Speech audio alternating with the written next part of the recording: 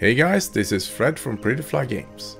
In this tutorial, I'll show you how to turn a regular model into a growable model. With this simple technique, you can grow plants, crops, trees, well, anything in your game. process should work with any game engine, but I'll show you how I did it in Unity. As a bonus, you can also add stuff like wind or physics to interact with your objects. I use this technique in my idle farming game, Fred's Idle Garden. And if you like this video, please wishlist the game on Steam. The link is in the description. So to get started, just fire up your 3D engine and create an empty 3D scene. And in my case, I've added a couple of objects from KayKit Forest Nature Pack and uh, also enabled some post-processing. In this tutorial, we'll also use KayKit Restaurant Bits and Tiny Treats Houseplants. Uh, I'll add them to the description so you can download them. So the next thing we need to do is take our tiny treats here, expand it, go into FBX Unity, which has the objects with the correct orientation for Unity. And uh, let's find the Photos Wine Medium D plant. So here's that plant, and uh, yeah, it looks like this. Uh, this is what we're going to use as a base for our tomato plant. And uh, it is an FBX file, uh, but we're going to create our own Blender file because the effect that we're using here is uh, rigging. So we're going to rig the plant and we're later on going to animate it. And that is uh, the, the whole growth effect that we have. To rig the model, we're going to use Blender. So start up with a scene and then press A and delete to get rid of all the objects. And then hit File, Import, and select FBX we are going to find it under photos wine medium D import. Okay, so here's our little object and I'm going to hit the one key on the numpad to see it from the side. Now uh, we need to rig it and uh, we're going to do it in a simple way. So press add and then select armature and then we have an armature object. Then hit viewport visibility, click in front so we can see the armature in front of the object.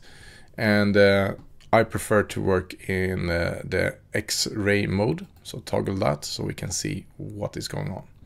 So with our armature selected, hit the tab key to go into edit mode and then select this top here and G key to grab and then the direction is going to be Y or Z, sorry.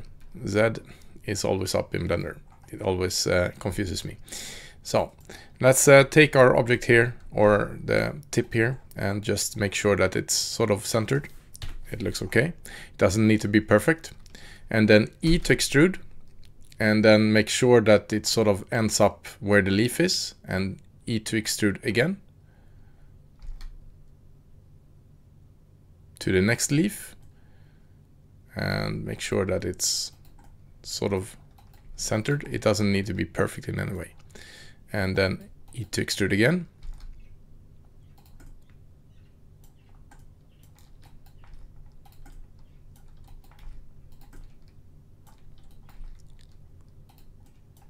Yeah, well, there we go. And E to extrude again. Okay, and actually I'm going to move that one down so I get it where the leaf is. All right, so now we have our uh, basic uh, rigging and uh, what we'll need to do is if we need to want the leaves to uh, grow, we need to uh, create uh, some bones here as well. So hit that bone which is next to the leaf and press E to extrude and it should be sort of in the center of the leaf. It doesn't need to be perfect. And let's do the same thing with all the other leaves. And hit E to extrude again. Yeah, that looks okay. Um, this bone is a little bit wrong. Let's view it from the side. Yeah. It will be good enough. And then finally E to extrude to hit the leaf.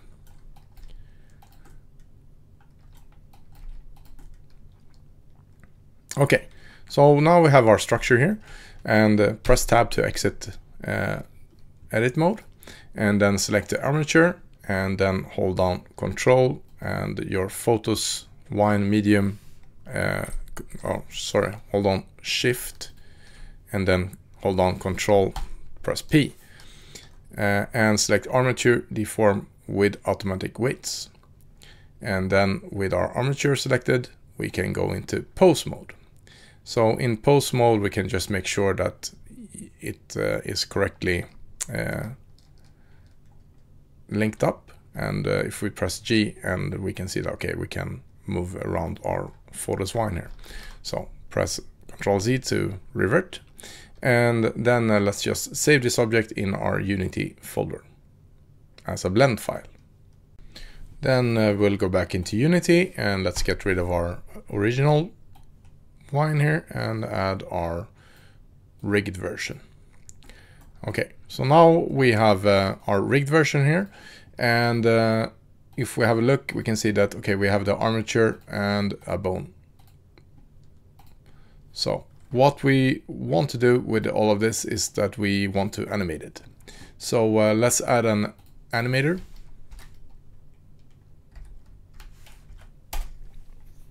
And then we'll need an animator controller. So uh, let's take this name and create uh,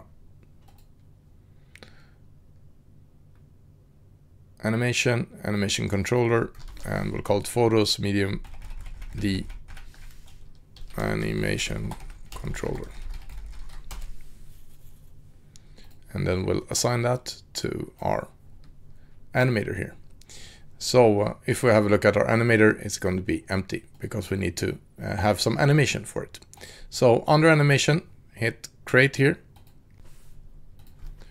and let's name it photos wine medium D animated grow. Okay, so uh, now we have our uh, photos wine here and we'll just hit, hit the record and now uh, we are doing our animation. So if we look at our bone here, we have uh, the first bone is uh, this bottom one and then we have bone one and it goes up to bone two and then bone two splits into bone three and uh, then we can follow it to the top. So if we just take our initial bone here and hit uh, this one to enable proportional editing and we'll put it at zero. So when it starts it's zero and then uh, at the end we want it to be one at some point. Uh, but let's just bring it up to one here really quickly. So now we have this growth thing going on, which just scales the whole rig essentially. Uh, but we want it to look more like it's growing, right? So uh, let's take our bone one here. So that's the first bone. And uh, hit that button again and then make it zero. So if we grow it now, it's going to look more like it's growing. So we come up to this point and keep it at zero. And from this point on, we're going to grow to 1. So if we look at our animation again, it's going, and then this little bud here is, a, is growing up from that portion into second portion. So now we have to just keep on doing this, and it, takes a while, but let's put it at 0 and then go to 1. So here we got this going on, and then the other uh, stem is coming out. Uh, now we haven't uh, fiddled anything with Blender, so uh, all of this is done automatically, but we can use weight painting uh, to make sure that some of the leaves maybe are not corrected, uh, connected to the right bones. So if we see this now, we can see that, okay, this leaf is coming out way too early, and that is a split here, right? So let's just try to find our bone for that.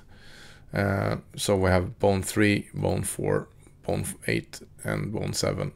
So the easiest thing is probably to name them so we can find them in a better way. But I didn't do that, so now I get to suffer. Uh, and uh, so now we got that leaf zeroed down. Uh, so when it reaches this point, we want it to, to start growing. So let's have it grow up to 1 here. So now we're coming up here and uh, it's going up and then eventually that leaf is coming out. So now the painstaking process is to animate all of this. And uh, it takes some time and fiddling, but uh, it's not very difficult. Uh, you just need to find the effect that you're looking for and make sure that it, it's growing as you want it to be. And uh, so I will just keep on fiddling around with this for a while and uh, I'll get back to you when I'm done. So after some fiddling I'm uh, reasonably happy with this and uh, the important part is that when you have the, an end bone uh, they need to start at zero very early. So in this case the end bone for 9 here is starting at zero and then it's not increasing its value until the very end. Uh, so it is a bit fiddling to add all of this, uh, but uh, the effect is quite nice and easy to achieve. Okay, next step is to add our tomato, so it looks like a tomato is growing from this. So let's uh, find our end bone here and then go into our restaurant bits, FBX Unity, find our food ingredient tomato and just stick it in the, the that bone. Uh, okay, so our tomato here, we can see that the origin is at the bottom, which is not optimal. So let's create a new empty child and call it tomato and stick our tomato under that. And then we are going to simply move this until the origin is so, sort of at the right place. Oh, I forgot I want to rotate it as well.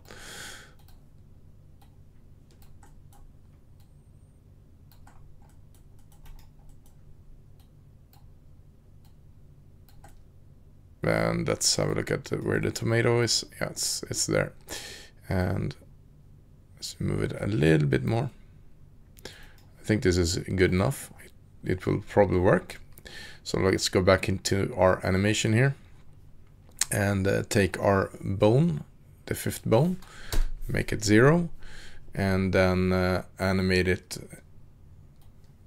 from start zero and then after a while it's going up it's going on. And from this point here we want it, to start to grow. Uh, actually it's going to be completed there and where was I there we have zero.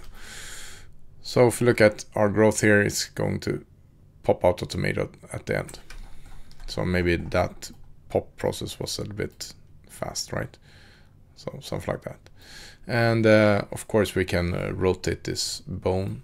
Uh, we don't need to animate it. We can just rotate it so it looks better from a so attachment point of view. Uh, something like this. It's super big though. Uh, so let's just scale it down a bit. Oh, of course, now the origin moved. All right, so you should probably open this whole thing in Blender and fix the origin, but uh, well, doesn't matter for this process, it will still sort of work. Okay, uh, so let's look at our whole thing here, and it's growing, and then at the end we have the tomato coming out. So of course you need to tweak this a little bit to make it look better, and uh, yeah, it's still sort of works, right? So the good part with this now is that uh, we have uh, everything animated uh, and uh, from a distance, yeah, it will work. So here we go, got our game going and let, let it grow. So by using kit bashing we can uh, simply create a lot of uh, variations uh, from different crops and other things and uh, as you saw in the initial video we can use it to grow trees. We can also use it to grow objects like uh, swords and stuff to make a more interesting appearance and uh, other things. So let's take our animation here and make sure that it doesn't loop. So animation grow, right? And stop loop time and then just hit play and uh, let's have a look at how it looks in the game. All right, so here we have our growth and there's a tomato. And uh, we can of course make some copies of this and uh, we can scale the object so it looks a bit little bit different and rotate it stuff like that and uh, yeah now we have two of them at least and the third one I'm, I'll probably put it off screen but it doesn't matter oh there it is so there we go growing tomatoes I'd like to give a shout out to our Patreon supporters. It helps us with every single contribution that we can get. So please consider supporting us on Patreon. The link is in the description. Thanks for watching and don't forget to like and subscribe. I'll see you in the next video.